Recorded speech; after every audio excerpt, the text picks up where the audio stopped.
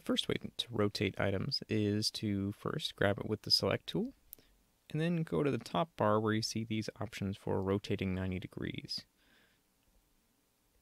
Which works, but you're pretty much limited to 90 degree angles. The next way actually involves the select tool. So with the item selected, you'll notice that I have these stretchy handles on the corners at first, but if I click it once more, clicking the border, you'll note that it changes to these rotational handles. And with those, I can just click on one of the corner ones and rotate it however much I want. If you need it to be a little more specific, what you can do is you can hold control and now it'll snap it to a couple of points along the way. So the last way that I know of to rotate things in Inkscape, go to the object menu and click on transform and then it'll open up this transform option over here. And what we want is the one marked rotate, the middle tab.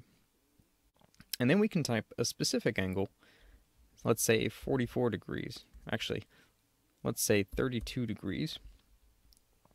And when I press enter, nothing happens. You have to make sure that you click apply. And now it's rotated exactly 32 degrees. Now, of course, that's 32 degrees Fahrenheit. You'll have to do the conversion to rotate it by 32 degrees Celsius.